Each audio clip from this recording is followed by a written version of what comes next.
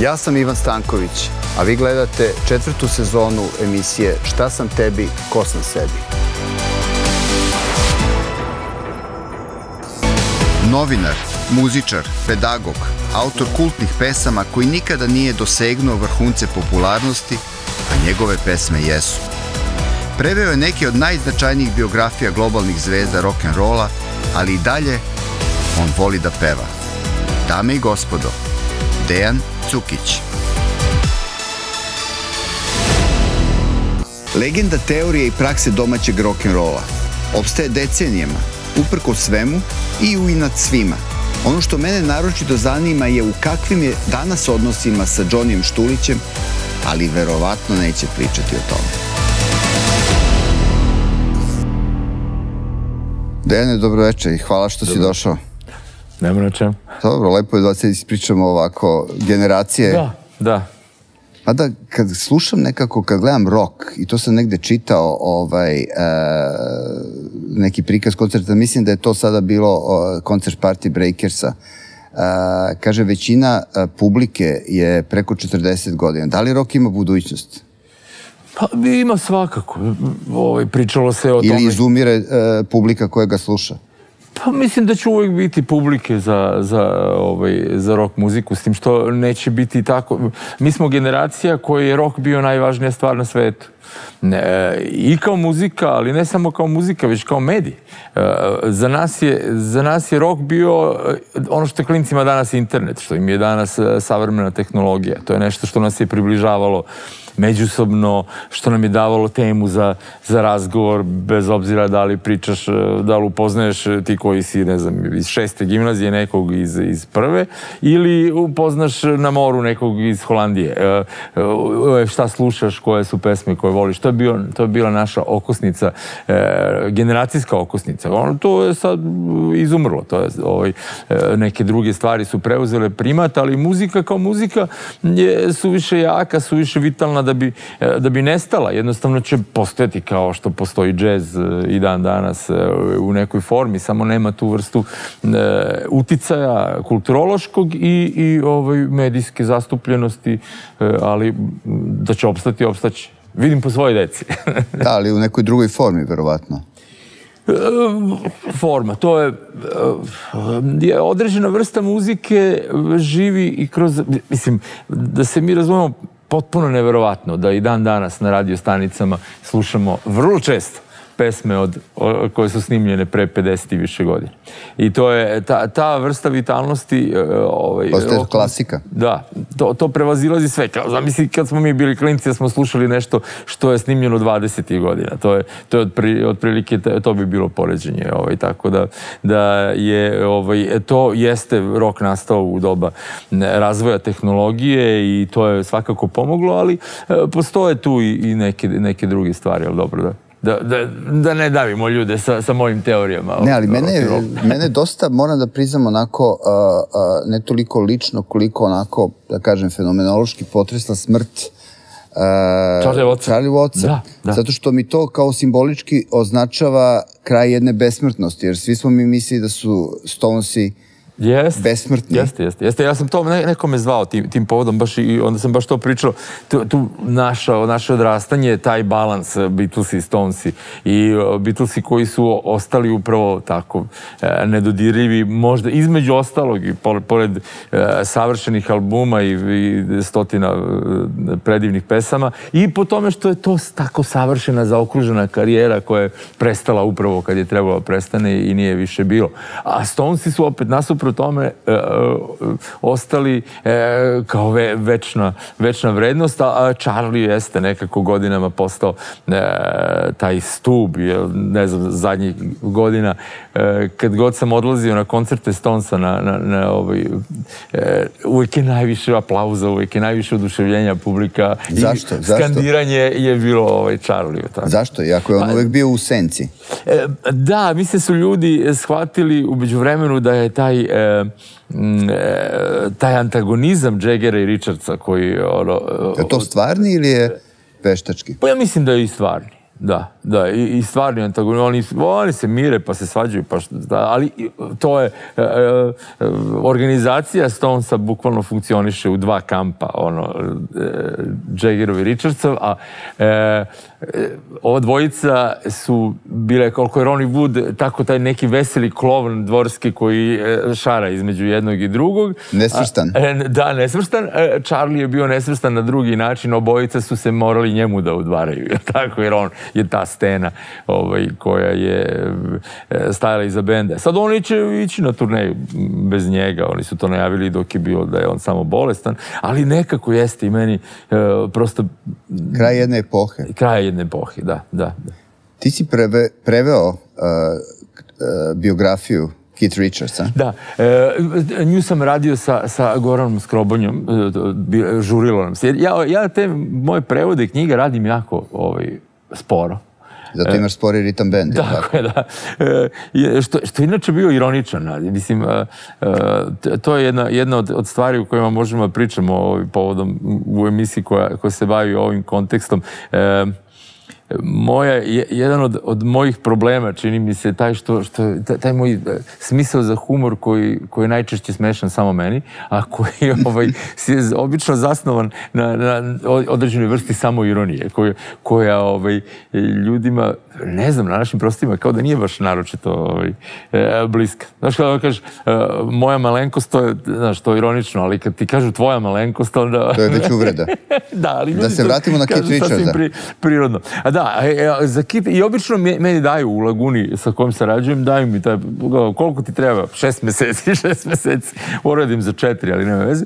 Ovaj, ali tad se žurilo baš kao aktualna je bila knjiga i onda, onda smo Goran i ja to podelili e, u dva dela da bi knjiga bila, bila brže gotova, pa sam ja onda kao uradio neku vrstu izjednačavanja da bi to imalo zajedničku ovaj, e, tako da jeste bila... I šta si baš... naučio o njemu? Jesi nešto novo saznao? O, o Kit Richardsu? Pa u stvari i ne. Šta te najviše fasciniralo kod njega? Pa kod Kita uvek fascinira, mene je fasciniralo to što se on seća toliko stvari. To je, to je ono što je, e, što je e, zabavno, ali ono što sam naučio u stvari iz knjige o Kitu Richardsu, e, koji je taj kao legendarni narkoman, jel?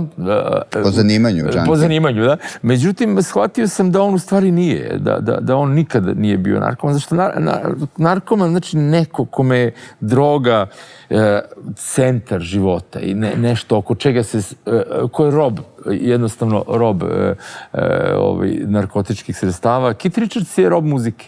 I on je uvek, i mislim da je zato živi dan danas, osim što je verovatno jak fizički, ovaj, zato što je ta strast i ta ljubav koju sam osetio prema muzici iz te knjige je nešto što je, što je meni uh, jako blisko i što i sam osjećam i vidio sam to, ta ljubav prema muzici je nešto što je njega provelo kroz, uh, kroz život i kroz tu vrstu iskušenja kao što je droga.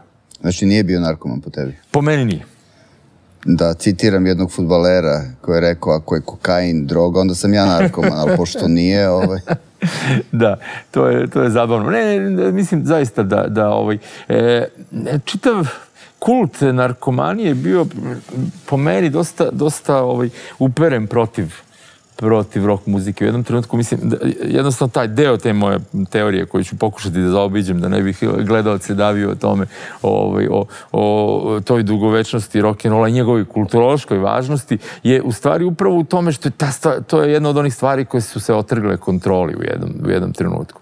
I uh, to je establishment prihvatio zato što je industrija uh, bila oduševljena tiražima koje su imali Beatlesi, a potom i ostali bendovi ovaj, i jedno, jedno, jednom sasvim novom, e, sasvim novom finansijskim, e, finansijskom moći koju je dobila diskografska industrija kroz, kroz popularnost rock'n'rolla, kroz popularnost albumskog roka, ono što je naša generacija dočekala. Jer to, pre toga bili glavni singlovi, onda odjednom sa Beatlesima, posle Sgt. Peppera i naravno gomilom drugih važnih izvođača e, postao album koji je skuplja ovaj, stvari i donosi više novca. E, de, ovaj, po, postali su albumi kao umetnički izraz e, bitni i to je rock and rollu privuklo mnogo zanimljivih ljudi, čak koji nisu muzičari, već e, dizajneri, slikari. E, pop zvezde su postali e, Salvador Dali ili Andy Warhol ili ovaj, ljudi koji su, da, da ne pričamo o piscima, bitnim piscima koje su e, naši uh, idoli preporučivali. Znaš, pa onda kao čuješ da je Jagger pročito uh, Majstora i Margaritu Bulgakova, pa je napisao Sympathy for the Devil. I, to je moj omiljeni primjer. Jel? Ovaj, I uh, takve stvari bili su, trudili se da budu pametni i to je mnogo dobro, zašto se, uh, se to prenosilo na jednu vrlo široku publiku i počelo je se briše uh, razlika između elitne umetnosti i, i, i, ovaj, i te neke umetnosti za, za narodne mase, e, to se nije, u određenom trenutku mislim da je establishment shvatio to i nije tako dobra ideja da publika bude mnogo pametna, pa se onda ovaj, je krenulo mnogo toga protiv rock'n'rolla. Jedna od stvari je bio i, i ta, e, ta dizanje tog kulta e, kulta narkomanije i tu ima, ima i, i zaista ima dve, i osnova malo. Dve. Pa da, ali ima, ima onih uh, pogrešnih informacija koje ostanu kao zauvek istinite. E, recimo Smrt Jimmya Hendrixa. Evo, jedna od posljednjih knjiga koje su izašle, koje sam prevodio, je jedna od, od biografija Jimmya Hendrixa. Dan danas, vjerojatno, 90% ljudi da pitaš, znate ko je Jimi Hendrix? Da, znam, to, to je onaj gitarista što umro od droge. Od čega je umro? Od smrti? On je u stvari umro uh, od vrlo čudno smatraju mnogi, postoji teorija da je čak i ubijen, e, od određene količine nekog vina koje... Sve to od lošeg vina, jel? Da, od lošeg vina, da. Ove, ovaj, dakle, on, naravno da je koristio, to je bilo tako vreme, to je bilo narkofilično vreme, da, da, da tako kažem, bili su e, ljudi skloni tome da istražuju e, sredstva za proširivanje svesti i tako dalje. Ali, ovaj, e, ali recimo Jimmy je, da, ugušio se zvanični, čak zvanični izveštaj e, ove autopsije bio da se ugušio od sobstvene bljutine, a to, se, to je posljedica obično e, alkohola. Tako da e, i nije, ovaj, ali što je zanimljivo, tabloidi su sledeće jutro objavili vest. da je on e, u, predozirao i, e, ovaj, i to je ostalo kao... Očekivana vest. E, da, očekivana vest i to je ostalo kao, kao istina za većinu ljudi. Jim Morrison isto. Jim Morrison je e, neko ko, ko je bio alkoholičar. On klasičan pijanac. Da li je umro, tad kad kažu da je umro, to je jedna od onih misterioznih smrti, jer niko ne zna da li, da li on uopšte ili je pobegao negde pa, pa negde završio negde drugo, ali ista, ista priča. Tako da... A reci mi, otkud ti u muzici, u roku? Pa ne, te, stalno pominjem Beatles, ali to je, to je u, u, Šta te naterlo? Ja sam slušao isto Beatles, ali Pa ne znam, e, e, jednostavno mene, ja sam, to, to, ti si malo stariji od mene, ali eto, ja sam baš bio ono, ja se ne sećam sveta be, pre Beatlesa. Oni su, ako su počeli da se pojavljuju u našim tim škrtim medijima negde uh, 63. četvrte, ja sam tad imao šta, 4-5 godina. I, i to Bio je, si znači, napredan pionir. To je ono kao čega se ja sećam. Mama mi je kupila Sgt. Pepper's Lonely Hearts Club Band za, za ovaj, moj osmi rođendan. Sećam se, to je bio prvi album koji sam posjedovao. I, ovaj, i, jednostavno, to stalno pričamo, ono, bilo je ono u školi, ko će šta da bude, ovaj, kao ja ću budem doktor, ja ću budem vatrogasac, znaš, ja ću da, da ovaj, budem zubar. No, niko neće bude zubar.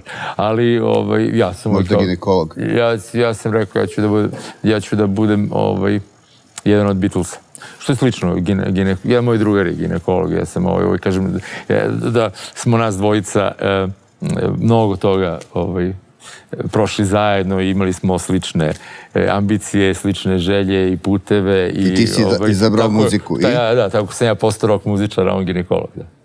I šta je krenulo prvo? Prvo si pisao pesme?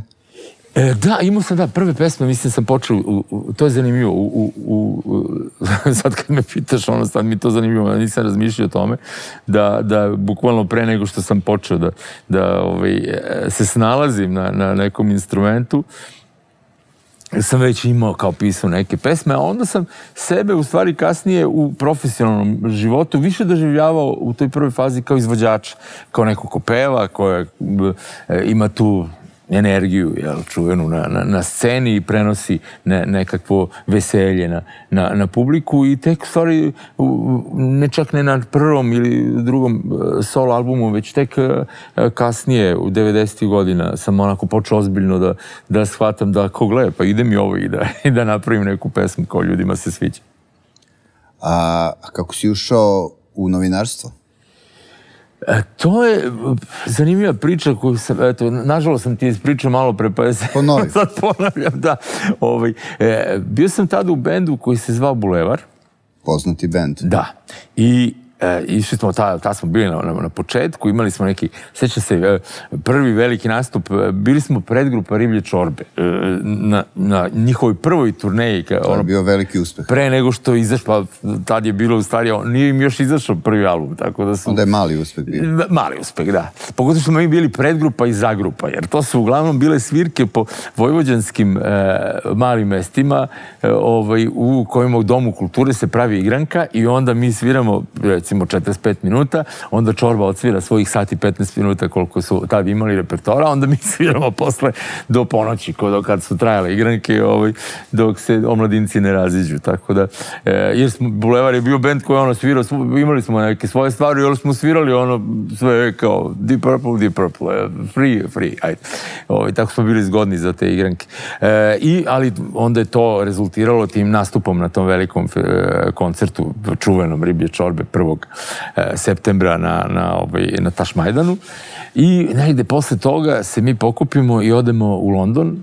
Tad se to išlo kao bilo pitanje prestiža. Da, pa ne, išli su ono, gde će muzičari, idu, idu u London. I to je tad bilo nekako jednostavno. Ovaj, dostupno, vrlo. Dostupno zbog Jugotursa, odnosno Genexa kao korporacije koja imala svoju čarter kompaniju i, i svoju ja turističku agenciju. Ja sam tada studirao i radio kao turistički vodič i vodio te grupe. E, tako, u Royal National Royal Hotel. National Hotel na Marble Arch. Na odličnom mestu, Russell Square. Da, da, odlično. E, ovaj, blizu Tottenham Court Roada u Londonu. Savršeno. Ok, i nije bilo skupo. Znači, odsviraš nekoliko dobrih igranki i e, ovaj, može da se ode u London. Da se kupe ovaj, garderoba, svi smo imali iste, one sa koje, beđeve i majice. I zvoncare. I, da, iz, naravno, kao ove pantalone. Ne, tad su već nisu bile zvoncare, bile su e, far, uske farmerke koje su to mi ostalo do dana danas. Jer to je već bilo malo pankirsko vreme. 79. Elem, i na tom putovanju, osim što smo kupili bubnjeve, e, smo gledali neke koncerte ja sam to prepričavao mom, našem zajedničkom e, prijatelju Saši Strižaku i, ovaj, i ko je tad sarađivo sa, sa e, listom Zdravo. E, to je bio omladinski list koji izlazi u okviru politike, a urednik muzičke strane je bio Peca Popović. Čuveni e, onda, Peca Popović. Tako I onda me uh, Saša u, u, ovaj, upoznao na, na nekoj, nekim, ovaj, uh, nekom povodom u Radio Beogradu je bilo nešto i I kao, kaže, kao, pa treba da napišeš nešto o tome, ja mu pričam, kao, e, bili smo u Londonu, gledali smo ovo, gledali smo ono.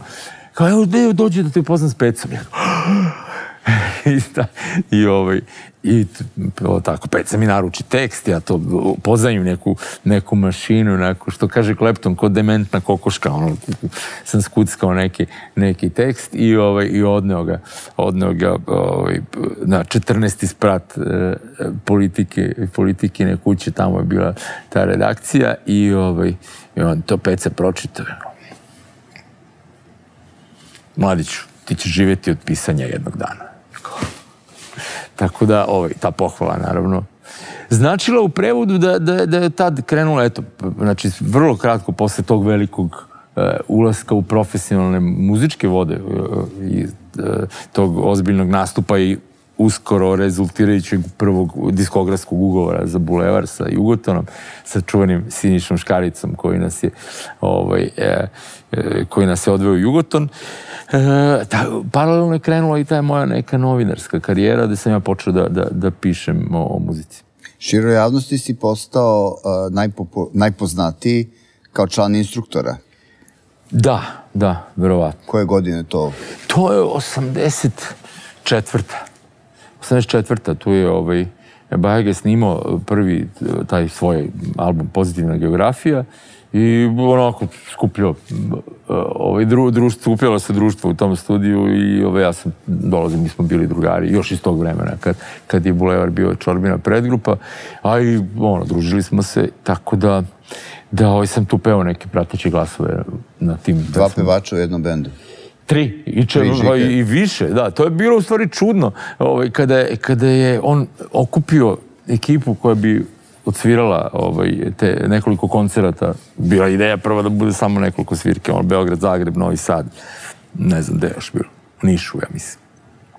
I ovaj, e, tu su bili Nele, Stamatović i Cvele koji odlično pevaju.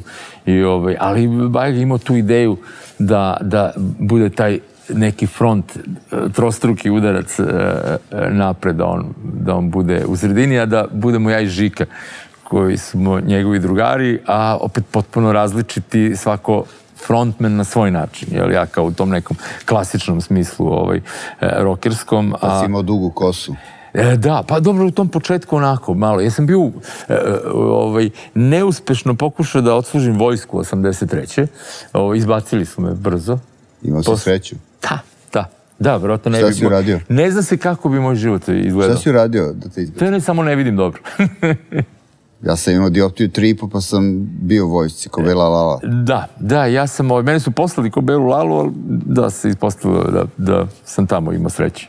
Da najđem na, na e, ljude sa razumevanjem za moj slučaj. Da ne ulazimo u to sad. To... A uglavnom, bez... Javit ćemo tamo gde treba ni, to. Ništa nisam folirao, a izbaciše me posle... posle Dobro, koliko si ostao u instruktorima? E, tri, tri, četiri godine, znači tri albuma. Tri albuma, tri turneje, plus ona turneja po Rusiji. To je bilo zadnje što... Čuvena. Čuvena, da. Sa onim velikim koncertom, je tako? E, to je bio u stvari učestvovanje na festivalu 85. godine, taj, taj veliki koncert onaj, e, u parku Gorki, a, a turneja je bila dve godine kasnije. To je bilo slatko, ovaj, to, jer to je bio skandal taj koncert, ono, policija prekinula. Koliko to je bilo nešto neverovatan broj e, Da, ba, to je bilo... I loš, nikakvo obezbeđenje. Da, pa nisu ljudi očekali, to, to je festival molodeži, tako se to zove, festival mladosti. Omladine. Da, i ovaj, koji se odigrava svake e, četiri godine je e, u nekom drugom, u nekoj drugoj predstavnici e, tog nekog tadašnjeg socijalističkog bloka, a Jugoslavija je bila specifična zemlja, što je ovaj, Mm, jel tako, znam, na, na sredini jeste ni nije, jel?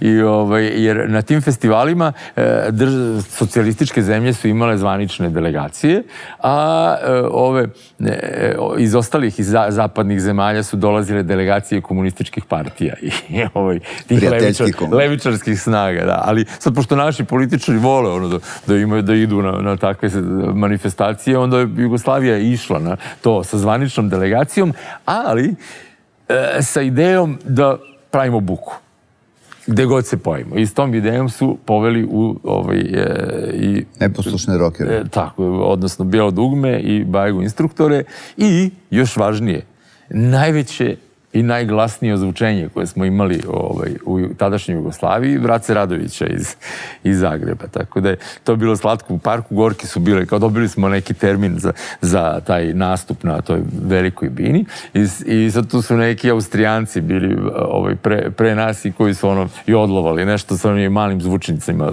i od parka, mislim, to svaka bina ima svoje neke male zvučnike, a za to vreme ono nekoliko sati je Braca Radović, ono, njegovi ljudi su slagali piramide ono, njegovog uzvučenja, on to priključivo i je došao naš termin kad je on pustio ono, ne znam, Dire Straits ja mislim, i, i još bolje Brusa Springsteena, ono, Born in the USA. Preko zvučenja mi smo dobili ono, pola miliona gledalaca u roku od odmah ovaj, ispred Bine, tako da je, da je to bilo baš uzbudljivo. Jer, ovaj, to je bilo onako još, još nije krenulo otvaranje sasvim ovaj, e, ali, ali je to, u stvari to je bilo simpatično što, što je taj koncert bio prekinut, pojavila se policija, mada nikakve nereda nije bilo, mislim da nisu ni, ni cvet polomili tamo, samo su do, do, Subverzija. E, samo su do, došli mnogo tu mladih ljudi bilo ispred nas i na, na taj ritam i na te rifove oni su reagovali tako što su zajedno, kao što je, znaju dobro kako se to radilo. To je bilo godina Live Aida koji su svi tajno gledali na, na, na kasetama i čak u nekom prenosu. Mislim da je i bio prenos Live Aida i u, i u Rusiji, jer je bio prilog iz Rusije.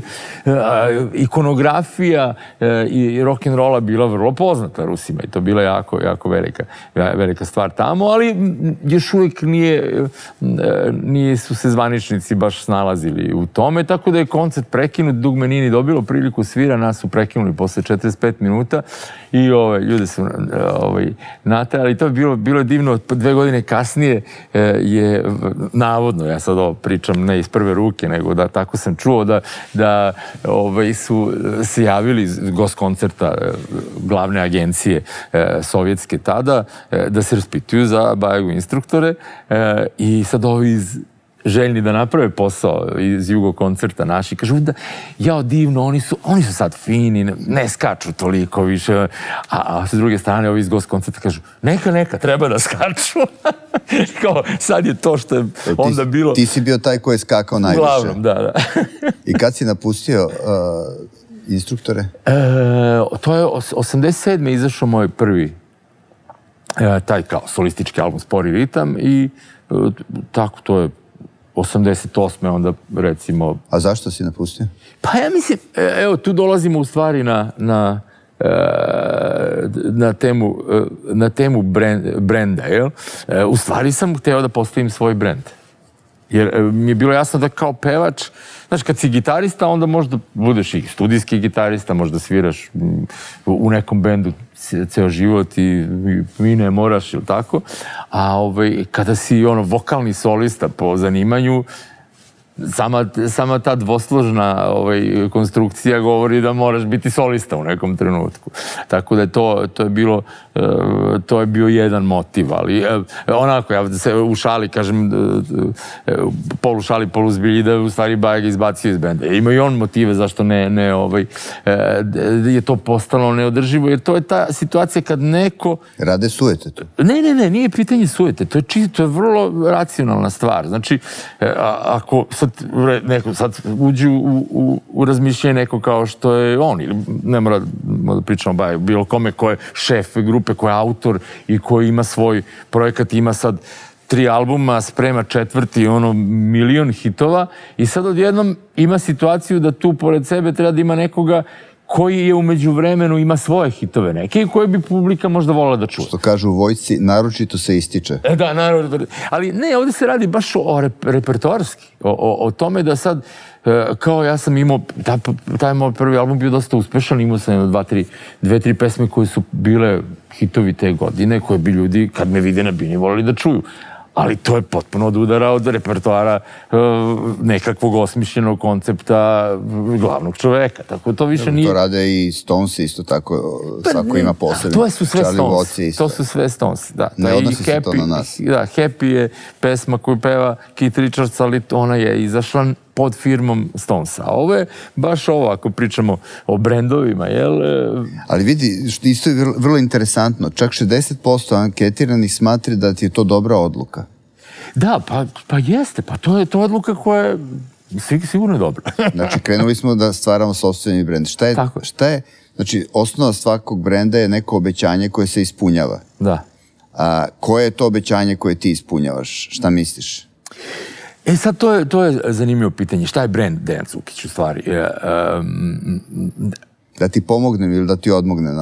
E, kada pitamo šta je, e, šta vam prvo padne na pamet kad čujete mm -hmm. Dejan Cukić, kažu pevač, letnje kiše, hiperaktivan. da, da, da. Hiperaktivan, da, to je, to je, to je dosta dobra reč, vidiš, nisam, ove, nisam ju upotrebljavao, ali je zanimljivo, e, znači, obećanje brenda Dejan Cukić je, je bio ta energična pojava na sceni. Znači, neko ko će... čuvena reč, energija, energija koju ne voliš. Da, da. E, ja više volim da koristim reč strast u posljednje vreme, ali doći ćemo do toga. Ove... Ovaj- Ima i deo strasti, ka, to su jedne od, od osobina koje to pisuju, da imaš strast da, ka tome šta radiš. Jest, jest. I to je, to je nešto što je u stvari e, novo obećanje brenda mog. E, naime, e, malo pre smo pomenuli o tome kako sam ja istog trenutka, u isto vreme, otprilike krenuo te neke, neke dve, dve paralelne karijere, karijeru muzičara i karijeru nekoga ko piše o muzici. I ovaj, to je...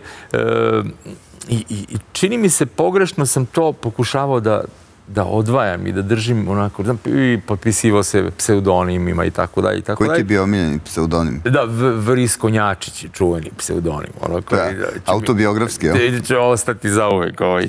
Vris E, Konjačić. Da, pa to je bilo vreme onog lista, ne znam da se sećaš, e, rock, e, Pecin rock 82 je krenuo kao podlistak nekog stripa, pa je ta redakcija u jednoj velikoj prostoriji u podrumu politike bila zajednička redakcija stripa i, i roka i sad tu je svirao radio uvek naravno. Išla neka pesma Bulevara, jedna od ovih žena koja se radi u redakciji stripa je rekao, ja, konjače ovo. A, tako da. I onda je to, To ti je bilo... kuma. Da, to mi ona je bila kuma, da, to se sam i stalno zvao kuma i, ovaj, i to, je, to je bio taj... E, ali hoću da kažem da je e, dosta ljudi koji poštuje to što ra, ja radim u muzici, koji, koji, ovaj, e, koji mislim na profesionalce, na ljude koji su ono producenti i ovaj, e, e, tvrde da sam ja naneo sebi dosta štete tom brendu, muzičkom brendu, radeći razne stvari drugi. I, Kao na primjer?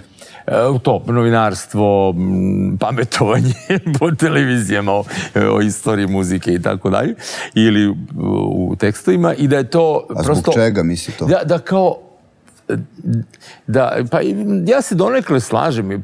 Najšira publika voli da doživljava Jednostavnu sliku. jednostavnu sliku, da, dvodimenzionalnu sliku. I ne voli sad tu neki, šta sad ovaj kao, jel ti pišeš ili pevaš, ili šta ti, ko si ti u stvari, Više, ili navijaš... više ljudi sluša nego što čita. Da, da, da, tako da je, da je ovaj, to navodno meni... Ja ne mislim to. Nebitno, ali u svakom slučaju sad u ovim godinama u kojim sam, e, ja nekako osjećam da, da sve to zajedno što sam radio je u stvari jedna slika i da je to i jedan, e, jedna malo komplikovanija, ali čini mi se ljudima, do, bar jednom da ljudi dolazi e, nekako do svesti ta zajednička slika, čija jedna reč bi, ne bi bila onda energija, nego strast. Znači ta strast prema muzici koja se na bini manifestuje kroz te, tu, tu ovaj, ogromnu količinu energije koja izlazi iz mene, ali se kroz e, pisanje o muzici, kroz prevode knjiga, kroz e, radio emisiju koju radim i ono, sa oduševljenjem velikim puštam neke pesme koje, koje volim. E, mislim da to ljudi prepoznaju kao strast prema muzici i da to, ovaj, je, to je novo obećanje mog brenda. Ja se ne bi složio uh, sa onim što su rekli uh, da ti je to štetio, ja što bi rekli da pače. Aha. Mislim da ti je to vrlo koristilo i to je kreiralo nešto što je najteže u savremenom svetu naći jedinstvenost pozicije. A tvoja jedinstvenost pozicije može da bude jedna koja se bavi rokom 24 sata. Znači Da. bavi se kao Jeste. izvođač, kao interpretator i kao a, fenomenolog koji se a, koji proučava, koji ko- priča o tome. Tako da, Da. ovaj pa jeste, mislim, ne da- veruj kritičarima mislim koji da ljudi koji to, lažu. koji to ovaj, gledaju iz prosto iz računovodstvenog stava, jel?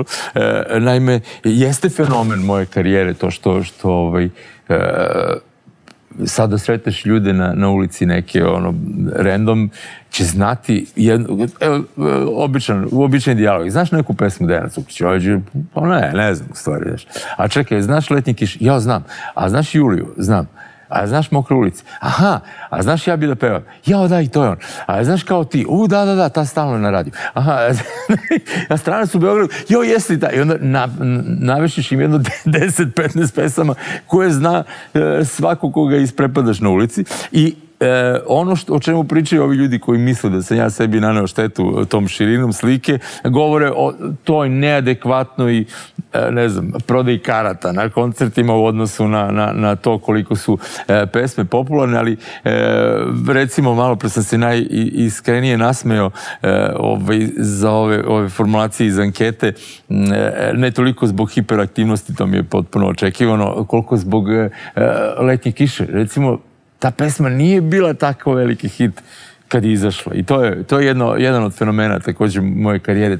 To je, te pesme Na koje drugi, izlaze... na drugi udar. Da, a, a Treći, ako ne i treći. Mislim, tako da, evo, snimili smo album Ulica bez brojeva. Ne- Nedavno očekujem da ta pesma bude veliki hit 2036. godine. A dobro, šta, kako ti sebe predstavljaš? Šta si ti? Pa, Od čega obično, živiš? Da, obično kažem muzičar. Jer to Muzičar. ipak najviše. e, To je to. Sve ovo ostalo su, da kažem, sa- satelitske e, delatnosti koje, ako pričamo o, e, o tome od čega, od čega živim, onda ipak od, od nastupa, od, od, ovaj, mm, od, od onoga što je direktno bavljanje muzikom. Ispitanici e, od atributa koji te opisuju najčešće navode nežnost, osjećajnost i snalažljivost. Da li su pogodili? Da li je ta snalažljivost to što radiš više poslova? Da, moguće, moguće. To, s- te strane, da. Da, ne, ne, nisam ja nešto sebe ne doživljam kao snalažljivog, ali, ali da, snalazim se.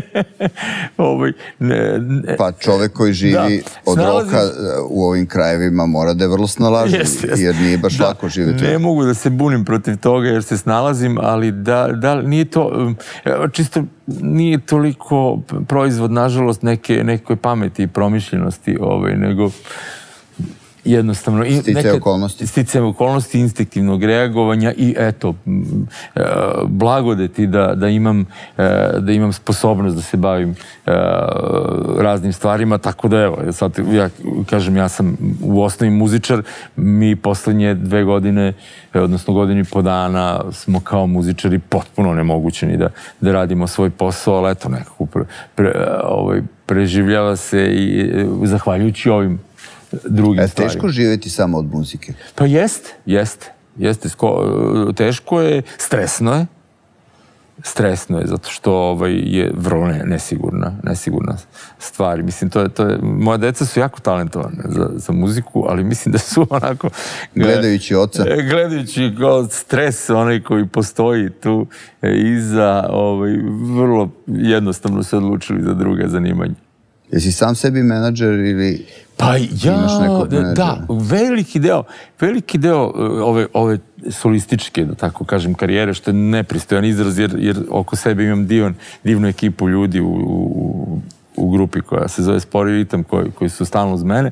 E, da, ali e, najveći deo sam imao i tu ulogu i onda e, zaista veliki ono kvantni skok u kvalitetu života sam doživio pre nekog godina kad sam najzad ovaj e, kad sam najzad od kad najzad imam nekoga ko vodi e, tu vrstu poslova jer to je u stvari mnogo bolje. Ne, neophodno imati menadžera. To je znači nešto što što bih posavetovao sad ljudima. Mene imao sam taj problem kad sam krenuo to solo jel? To mi je jedan jedan ovaj tvoj kolega rekao tebi ti imaš problem bijete glas da si mnogo pametan pa nijedan menadžer neće da radi s tobom. Što je naravno potpuno pogrešan glas jer ja sam uglavnom elokventan ja umem dobro da izražavam svoje misli ali to uopšte ne znači da sam nešto naročito pametan. Ali opametio sam se posle 30 godina i zadnje 3-4 imam menadžera i to je mnogo bolje. Ta tvoja elo- elokventnost se uh, reflektuje u nekim od odgovorima uh, gde ljudi smatraju da bi ti drugo zanimanje bilo idealno profesor. da, da. Jesi razmišljao nekad o tome? Je, pa probao sam ovaj, toliko da, da čak u nekim, držao sam neka predavanja i, i uh, u jednoj srednjoj školi e, ovaj, čak redovno sam, ovaj, to je bio eksperiment u, u okviru jedne privatne srednje škole u kojoj sam ja ovaj, e, imao predavanja za zainteresovane o istoriji e, rock muzike a ovaj e, čak sam imao ja imao sam jedno predavanje na na fakultetu ekonomskom u u Podgorici to je isto zanimljiv ovaj O čemu? e, o, upravo o, o tome o, o rock and rollu i njegovoj njegovom uticaju kulturološkom uticaju i na na Otkud ekonomski fakultet? pa bilo mi je to zanimljivo sa sta, stanovišta marketinga i, i e, odnos rock kulture u odnosu na e, uticaj rock kulture na, na kretanja u, u, u marketingu, što mislim da nije blesavo, čak ima vrlo, vrlo ovaj, e, to je bila osnova e, mo, mog predavanja i, i, i ta teza kako su upravo te, ta, ta, s, e, ti slogani koji su iz izvirali iz pesama pre svega Johna Lennona i Boba Dilana e, pa i drugih junaka tog vremena se 70-ih pretočili u, u ove slogane koji, koji funkcionišu u, market, u marketingu. Pa odlični su rockeri, copywriteri, odlični su. Da, da, to je, to je Ja sam svoje vremeno nekoliko navrata Pecu Popovića, čuvenog Pecu Popovića. Da, ko... Mog kuma inače. Kuma. Malo pre sam ispričao kako smo se upoznali, umeđu vremenu smo Odlično. više decenijski prijatelji. I... Koja je apsolutno živa enciklopedija da. a, muzičke scene u bivšoj Jugoslaviji. A, molio i on je dolazio kod mene u agenciju i razna predavanja koje su fantastična bila o utjecaju roka, o e, promeni e, muzičke industrije u zadnjih 100 godina, o raznoraznim interesantnim temama je držao i to je recimo nešto što ljudi dan danas pamte. Tako da, da ti je to moguće nova karijera koju bi mogo da e, kreneš ako da. ovaj, mu, propadneš kao muzičar ili kao prevodilac ili kao novinar. Znaš, kad radiš ovaj, izlazak na binu, pevanje za, za, za ljude, nastup, je, to je takva, to je droga u stvari. To, to je nešto čega se uh, uh, ovaj, ljudi redko, uh, teško lišavaju, a ja imam tu sreću da imam tu neku vrstu svestranosti čak i u okviru tog nekog ovaj, dela. To je, sećam se da naš dragi prijatelj, nažalost, pokojni Vlada Divljan, ja, jednom smo sedeli u, kod njega u Beču i, i nešto, ono, tupili o tome kako, kako je sve otišlo dođevala, kako muzika ovaj, prosto ekonomski e, propada u smislu nekih e, pravila na koje smo mi navikli i nekih e, načina na koje se živelo od toga ranije. I onda je on u jednom trenutku rekao da, lako tebi, ti možda uzmeš sam akustičnu gitaru i da, da, da sviraš i za, za ono 50 ljudi u, u, ovaj, u nekom kafiću i, i dobar si. Znaš, i, to je zaista ovaj, istina. Ja to sam zadržao do dana današnjeg tu ono što smo imali kao klinci, ja uzmem gitaru pa zabavljam ljude sam sa, sa gitarom i to je bilo meni tako, tako inspirativno, znaš da, jer negde sam uvijek smatrao to nije cool kao sad, znaš, ono, nije, nije cool da sad kao nešto ti sad tu sviraš, to je kao ipak kafanska stvar. I onda ti uh, neko kao vlada koji je bio princ kula, ono naj, najcool tip ono Beograda, kaže, ne, to je u stvari super što ti to umeš i što možeš.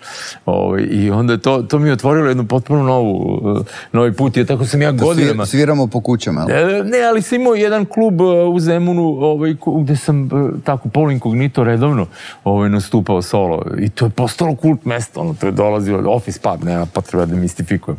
Ovaj, što si prestao? Pa, zbog korone. Bukvalno smo to terali, ono, ovaj... I tebi lepo? I da, su, to je toliko bilo onako win-win situation, što kažu, svima lepo. I, I jako se ljudi radovali tome, znaš, ono, ili kao, kao, pošto je to stalno ponavljeno, nemo stalno sviraš svoje pesme, ono, kao, kao dolaze čak isti ljudi. Ovo, znači, kad pravimo kućne onda, žurke, kad pravimo da, kućne žurke, to je onda... O, to je, to je, ovaj, to je najskuplja varijanta. Ne, ne pričam, da, tu u Hrvatsku imam to razvijen posao, neću da, da sad ofiram ljude, ali bilo je eminentnih ovaj, umetnika koji kao dođu, kao pozvani su na, na žur, znaš. I onda tako je dobro. I onda i kao spontano, kao evo tu je i, i klavir ako biste mogli malo. Pa dobro, mogu malo, znaš, u stvari dogovoren honorar ozbiljan. pa dobro, i Stonesi sviraju po s, Ej, žurkama kućnim. Sluš, nema, ne, svi se, smo mi u istom džaku. kaže, kako to kažu, uh, svirati se mora, živeti, ide baš ne. Da ili uh, naša zadnje, poslednje koje sam, izaći će uskoro prevod To je za ove koji vole moje prevode. E, knjiga e, Korona ispala dobra stvar, pošto ranije sam radio jednu godišnje ili jednu u dve godine, a sad kako je krenula korona, prošle godine sam imao tri knjige, sad, sad ovaj, ove godine sam dve uradio i treba da izađe e, biografija grupe Doors, e, ali sad sam radio e, Leni Kravica koji, koji ovaj, sam predao tekst pre neki dan i ovaj, tu, tu njegov deda bio sa Bahama i tamo uh, je, je, postoji posljedica ako uh, nešto mnogo voliš, dopusti da te ubije. To je lepa posljedica. Da. A reci mi, uh, radio si dosta intervjua sa poznatim rock zvezdama. Teško je nabrojati. Jeste. Ajde sad se seti barem nekih i uh, Ma dobro, ja uvijek, uvijek krenem uvijek se završi na, na Sting, Tina Turner, ne znam ovaj, koga još tu pomenem. Koji ti ostao najviše u sećanju, da je to? I zbog čega? Uh, Dire Straits, verovatno toga sam se ono po, poslednje vreme puno sećao, jer, jer je u stvari uh, to kada dođeš da nekog intervjuišeš, to je ograničavajuće samo po sebi i postavljate u jedan, jedan odnos prema ograničavajući odnos. Ono neko, ako dolazi kao novinar i priča sa, sa nekim. Sa Dajer Staricima sam imao drugu vrstu komunikacije, pošto e, sam u PGP-u, jer ja sam tada radio za rok e, kao novinar, ali sam bio pevač grupe Bulevar, koji su oni uh, znali. I ovaj Čika Sveta Jakovljević koji je vodio uh, licencni program, meni uvali hrpu zlatnih ploča E, koje je zavredela grupa Dire Straits ovdje, jer PGP RT, RTB tadašnji je, je to objavljivo. I kaže, evo ti pare, kupi neku rakiju i odnesi im. O, ovaj, jel ideš tamo, idem, dobro. I tako da u trenutku dok je ono iz cele Jugoslavije ondašnje ono vrebalo jedno sto novinara u krugu od, od, od, od 50 metara oko njih ovaj, da neko napravi raspored kad će ko da, da, da dobije priliku za intervju. Ja sam sedeo dva sata sa Dire Straitsima jer su me gledali kao predstavnika lokalne e, diskografske kuće. Dakle, to bilo, to je bilo zabavno. Pat Metini, e, poznati jazz gitarista, njega sam obično ovaj, citirao kao, kao neko ko mi je bio najprijatniji e, sagovornik, a i bila je u stvari slična situacija, da što on video na mom, e, to se dešavalo u Kanu, na Midem ovaj, festivalu gde sam išao kao Petar Popović pošto je Peca bio, ovaj, bio akreditovan, e, ali nije mogao da ide i onda nešto smo sedeli negdje i on kaže, ajde, e, ne, ne, ja sam izezan, rekao, e, mogu ja me sa tebe? On kaže, pa možeš, nisam poslao fotografiju. Još da bi Peca rekao, nisam poslao fotografiju. I, ovaj, i Kaže, možeš, odeš tamo, slikaš se i kažeš, evo, ja sam Petar Popović i nema problema. I tako i bude, zaista. Onda sam ja imao propusnicu za sva događanja tamo gde je pisalo Petar Popović Jugoslavija. I, ovaj, I nešto sam se muo po tim nekim hodnicima iza koji su mi neke ženske iz organizacije pokazali jer sam jurio Kim Wilde koja je tad bila velika zvezda i onda su mi otkrili tajni prolaz do, da, za, za garderobe da bi uspeo da uhvatim Kim Wilde koja nam je kao bila bitna jer smo imali njen poster, nije važno. I na, nalećem na, na, na Pet Metinija koji pogleda kaže Jugoslavija, ti mi trebaš. Kao, šta je bilo? Oni, ono manijak, posle sam ja saznao da su oni tad sami sebi organizovali turneje, da su on i Lionel Messi na smenu vozili ovaj, e, kombi sa opremom i tako dalje. Kao imaju Italiju, imaju Austriju, imaju Mađarsku, ali kao fali imaju dva datuma slobodna i hteli bi da sviraju u Jugoslaviji. Kao spread the word, man, spread the word, kao, nešto. I da, genijalno, stvarno do, došlo je do, do toga da, da bude taj koncert Pet Metinija u Beogradu, ovaj, ja sam pisao neki intervju, napisao intervju za politiku. Ovaj, to je, tad je tad je moj tata prvi put pomislio da nije da sve izgubljeno, da. da. sve da nije izgubljeno sve sa, sa mnom. I ovaj i I, i on zaista, Toni Sabol tada koji je organizovao koncerte, dovede pet metinije i, i ovaj, ovaj me video sa Binika. Znaš, kao, ajde vidimo, tako smo ovaj, posle malo pričali, opet, u Beogradu. A reci mi, najneprijatnije iskustvo? Pa ne znam, bio, bio neki, o, sa ovim stranim. Da, da, da. Pa, Možemo i sa domaćim ako hoćeš. Da, ne, koji su sad na, u inostranstvu. Koji su sad u inostranstvu. No, ali nećemo, ne, ne, su u Holandiji, tako da... E, naj, pa ne znam da li ne mogu kažem neprijatnije. Bio, ja sam se posle neprijatno osjećao, bio neki nesporazum. Jurio sam Suzan Vega, kad je bila na Exitu, tad sam radio za televiziju Metropolis i ona je rekla kao neću više raditi intervju, ja tu povučem nešto, sam ja pobrkao u glavi da je Peca rekao da je super sa Suzan Vegom, on je u stvari super sa John Baez. I ja sam kao, ja sam super prijatelj njenog super prijatelja i onda ona kao, pa nek dođe onda, ko je taj prijatelj? Ja, kad je krenulo biš, Da, da, ona meni intervju uslikala i smo je nekoliko pitanja za televiziju, ali to bilo onako nategnuto, ispalo sam ja neki prevarant koji ono nju loži. Ovaj, ali, ali dobro, na egzitu je tako gužva, pa onda, onda ovaj, uh, I zaboravi se. I zaboravi se, da, bili su sledeći, su me odmah raseselio i Franz Ferdinand, ono, ko, kojima sam ja rekao da, da bi bilo, bilo bi im pametnije, ovde ste u Srbiji, rekao, bilo bi vam pametnije izađete na binu da, ovaj, da kažete večera se zovemo Gavrilo Princip, znaš. I oni me shvate ozbiljno. Izađu i kaže čovjek, kaže, a sad pesmu posvećujemo velikom heroju Gavrilu Principu. Oni nisu imali pojma koje. ne, ne, imali su, imali su, znali su, ne, nisu oni glupi. Ove, ovaj, i, I kao publika, a, ura Gavrilo, ali, ali zato u nekim engleskim novinama izašlo kao, kao Franz Ferdinand su na Pini pozdravili teroristu koji je otpočeo prvi svetski rat. Kao, zar nisu mogli da kažu do you feel all right ili tako nešto? Jesi osjećao nekada tremu kad si pričao sa svojim idolima? Pa, da, da, jes, kako da ne. Tina Turner. Potpuno onako sam se oduzeo. Njen menadžer rekao, pa ovaj ne zna engleski. znam, znam, samo čekaj. Je stvarno bila tako malo. strašna ili je pa, problem bio u tebi? Ne, bio, bio onako, znaš, kao čekaj, ovo je Tina Turner. da. Tako da da, to je bilo, to je bilo uzbulje. Prvi intervju mi je bio sa Alvinom Lijem. Alvin Lije je bio gitarista uh, grupe Ten Years After, after. I on je ono kao najbrži gitarista na svetu, ono junak Woodstocka i tako da to je bilo naravno Vlada Jet i ja smo to radili zajedno u, u Radio Beogradu. Vlada ga je snimao za audio, ja sam kao dodavao pitanja i, i onda to sve objavio u roku.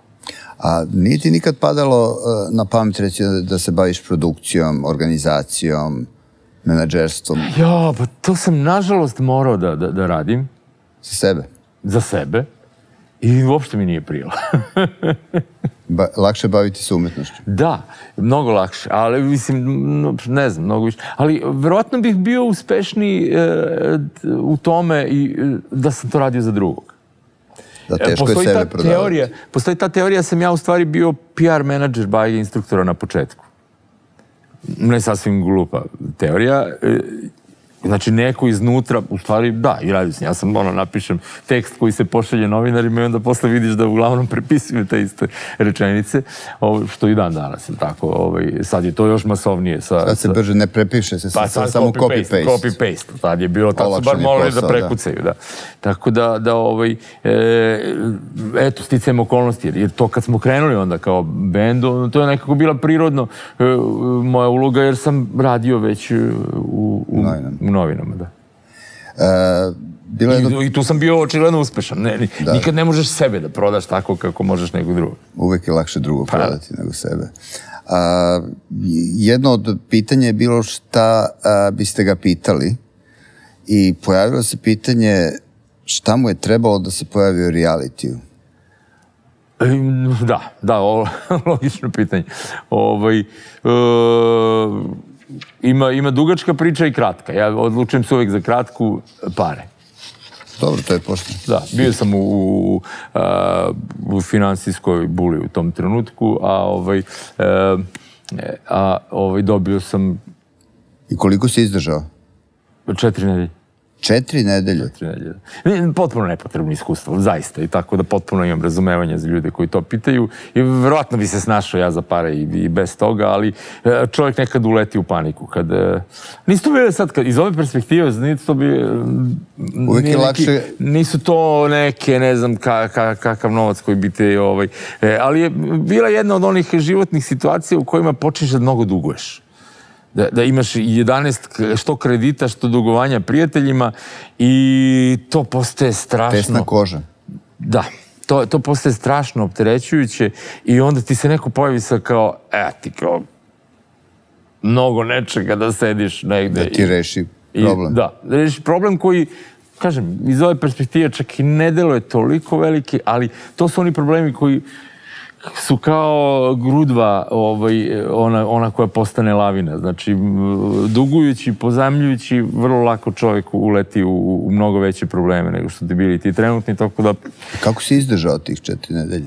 Pa nije bilo lako, moram da priznam. Ali e, jedna od, od stvari koje Ko je to su... bio a, program? Neki, mislim, ne, nemoj da, da, zaista ne bi volao mnogo pričamo o tome, ali je, jedna od, od e, interesantnih stvari je bila ta, to vežbanje sposobnosti komunikacije. Tu, se nađeš sa, sa mnogo... To kao odlazak u vojsku. U vojske je. si se izvukao, Tako je. a sad si ovde dobio E, na kamatu. Bukvalno moja omiljena e, poslovica je ono ko ne plati na mostu, plati, plati Ovo je bila na ćuprija. Da. Ovo je bila moja ćuprija, da. Ali bespotrebno, priznajem, tako da. Zaboravimo taj, Zaboravimo. taj, taj ružni deo prošlosti. Ali teško je živeti od muzike, teško je živeti ovako u, nezas, u neizvesnoj situaciji, pogotovo sada ova korona koja je totalno demolirala Jeste. e, muzičku scenu i Jeste, teško, ali ja sam nekako ipak taj, taj to čovjek... život od danas do sutra. E, e, meni je rock muzika suština e, te, toga što sam ja osetio, to, te, tog ushićenja koje sam osetio kada sam prvi put video Beatlese i koje, ka, kada sam osetio taj, taj ovaj, ritam u sebi je, je bila sloboda. Znači, taj osjećaj slobode, osjećaj oslo, oslobađanja. I, ovaj, I tako da ta vrsta... Ima cenu, sloboda ima E, cenu. Da, ima, ima svoju cenu, to jeste stresno. Ja sam imao, imam u posljednje vreme ovaj, e, tu tezu da, da sam e, kao 40. godine s obično godine u e, takozvane krize srednjih godina, jel? kada muškarci koji su imali nekakav normalan put ono da, da završe fakultet, zaposle se, e, zasnuju porodicu, Već se ovaj, razvode ko ljudi. I sve je onako, e onda kao polude, kao jure švalerke, e, kupuju skupa kola i ne znam šta rade. E, a, a moja, moja kriza srednjih godina je bila obrnuta. Ja sam ovaj, e, u, u 40. godinama e, kao, odjednom kao, aha, sad ja moram da se ozbiljim. Znači, i onda sam se zaposlio. Kao je, prvi jedini put sam bio zaposlen e, ovaj, na televiziji Metropolis, ovde, ovde na ovoj televiziji radi, radi dosta ljudi koji su sarađivali tad sa mnom, kao nekakav urednik sam tamo postao i ovaj, malo sam izdržao devet meseci, onda sam dao otkaz. Bilo je gotova moja kriza srednjih godina. Zašto si dao otkaz? Pa ne, nisam se... Radne, se- dnevne, svakodnevne. Da, da, nisam. Mislim, duže sam ja u stvari radio. Devet mjeseci sam formalno bio zaposlen, ali sam pre toga kao honorarno radio, ali isto to. Ovaj, tako da to trajalo par godina i onda sam ono, kao, ne, nije ovo za mene. Tako da sam se vratio ipak e, tom Sloboda nekom... nema cene. Da, da, nema cene, ne. I malo je stresno ponekad, kad, do, kad upadneš u tu vrstu kriza. Kad dođe kao- neka čuprija. Da, kad dođe neka ćuprija i ovaj, e, ali, ali eto, srećom, izvukli smo se. Dobro. I kako sad ti e, ovako kao, da tako kažem, ali ne u negativnom, ali a, nije olinjali, ali a, čvrsti roker. Dobro, olinjali možeš. Čvrsti rocker, to- Ne ljutim se. Imam 62 godine. ono hard rocker, ili tako? Tvrdo, Tvr, tvrdokorni. tvrdokorni, da, u srcu. Kako sad ocenjuješ sad ovu muzičku scenu što se sad sluša, ove, a, a, nova muzika a, i na, novi način konzumacije muzike, a, novi zvukovi koji dolaze. Ja imam, znači, moja mla- mlađa, najmlađa čerka ima 16 godina i prva stvar kada uđe u kuću ja slušam neku muziku da promeni na nešto ovaj, e, što ja ne slušam, što sam ja verovatno radio, ja bi radio da smo, da smo bili u toj nekoj situaciji s roditeljima bi menjao te muzike, međutim ovo je e, neka druga vrsta muzike. Sada, Da. bojim se da ne zvučimo kao dva olinjala Da, da, starca, da, da, da. Pa e, meni- u naše doba je bilo drugo. Jest. Ja, ja sam se dugo plašio da, ti, ti, te vrste komentara zato što e, prosto e, to, setiš O se... ukusima ne, Da, ne vredi, a, ne vredi, raspravljati. raspravljati. Međutim, e, postoje neke činjenice i, i, i ovaj, ne, ne treba da se stidimo da, da, da ih kažemo. Prvo, ono što čini mi se u ovom razgovoru već pomenuli, muzika više nije toliko bitna ljudima. Mislim, za nas je e, slušanje novog, nove neke ploče bio, bio događaj. Događaj. I, i ono, da- da ne... Od otvaranja. od otvaranja omota. A dobro, nećemo, nismo baš toliko matori. Jes, mislim, jesmo, omoti, omoti ploče. Znači, to je za, za mene i dalje je jedno od tih vrhunskih, ono, ovaj, doživljaja. doživljaja i uživanju u muzici to, kao dobiješ novi album, pa je kao Sad da onaj downloaduješ novu pesmu. Pa, da, sad je, znači, nema, muzika nema tu vrstu važnosti, ona je postala fon za neke druge stvari koje, koje se dešavaju. Ovaj, drugo, e, što se tiče same produkcije muzičke, ona je e, današnja muzika, šta njoj najviše nedostaje? Odnosno, postoji čak e, nekoliko, ovaj, e, na YouTube-u nekoliko lepih e, disertacija ovih stručnjaka. Zašto, zašto baby boomeri, ono, naša generacija, zašto ne podnosi e, savremenu e, muziku? E, zato što je uglavnom kompjuterizovana.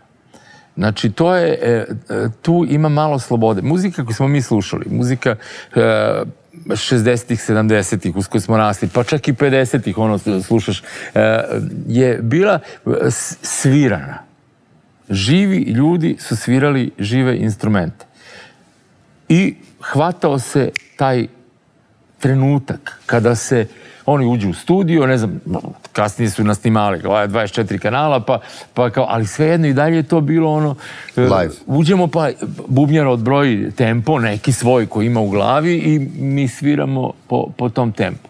A sada e, producent kaže, čekaj, ako hoćemo hit, to treba bude 120 bita i, i na kompjuteru. A, i onda ćeš imati, sve pesme će biti, znači nema ljuljanja ritma, nego je sve, ta, znaš, e, pominjali smo malo pre van, van ove, priče Pink Floyd.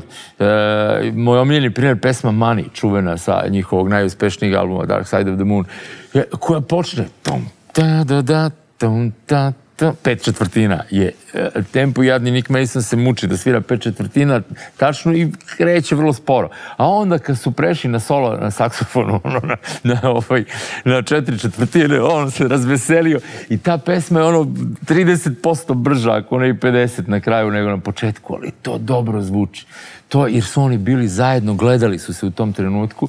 Sad je sve kompjuterski. Nisam nevin. Kako je kažem, ono što mi, mi smo sad snimili album uh, taj Ulica bez brojeva, sve svirano, sve živo, ali smo radili na klik. Znači, taj kao aha, ajmo da, te, da tempo bude ravan, da bi sve moglo u kompjuter da se ubacuje uh, ovaj, kako treba, onda je bubnjar svirao na klik sa slušalicama i onda smo mi na njega to svirali, pevali. Da, tako da, moja ambicija dalje da, da vratim stvar na, na, početak, da, da ovaj sledeći put snimamo uh, starinski, ono kao, kao dobar dan, evo, ovako, ovako ćemo. Da ne zvučimo baš malo mnogo matoro, a? Pa ne sve jedno, mislim, nemam ja neki problem s tim da, da, da zvuči matoro. Ja, se, ima ljudi ko, u, u ovom poslu koji kriju svoje godine, ja ne krijem i, i, i ja ono, e, osjećam da je, da te godine koje, koje su u meni, da su deo kvaliteta onoga što ja imam da ponudim. Uh, I ne možemo ih menjati? Ja ne mogu da utičem na masovni ukus. Znači, masovni ukus publike, masovni ukus publike. On je e, određen raznim stvarima, nažalost, i algoritmima, ono, e, koji nemaju veze sa nekim, ono, sa pokvarenim e, ljudima koji stiskaju dugmiće. Ne, nego su pokvareni ljudi koji stiskaju dugmiće, napravi algoritam... Da ne bi stiskali dugmiće. Da bi, da bi algoritam sam pronalazio ciljeve i tu dolazimo do, do kulture sledbenika u odnosu na kulturu predvodnika.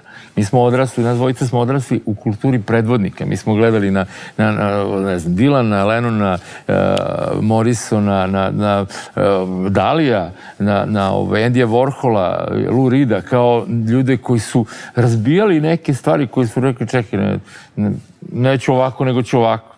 E, pogledaj, Beatles je samo njihova e, karijera od She loves you, yeah, yeah, yeah, do Strawberry Fields Forever. To se prošle tri, čet, četiri godine. Ono, e, ne bi danas neki, danas muzička industrija ne bi nekom bendu koji kreće kao boys band, malo kao ono, malo te neka pop, e, pop senzacija za tinejdžerke, ne bi im dopustili da naprave takav put i da dođu do te vrste kreativne slobode koju su oni tada imali. Zato ja kažem da se ta stvar otrga ga kontroli.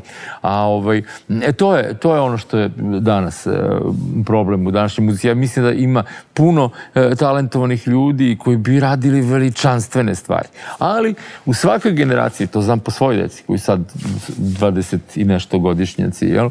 Ovaj, oni su imali u, u svakoj gen, u generaciji imaš tu neku kritičnu masu tih ljudi koji ne idu za masovnim ukusom, nego, nego ovaj, e, slušaju nešto što, gde osete nekakav, e, e, gde osete taj puls o, o, kome, o kome pričamo i koji nosi ta neka stara muzika i ima mladih novih izvođača koji su njima bliži, a koji slede taj, taj puls. Tako da, da tu, tu je neka budućnost rock'n'rolla. Ona neće biti masovna, i dalje će vjerojatno najmasovnije koncerte držati ovi naši dok, dok su još živi. Jel?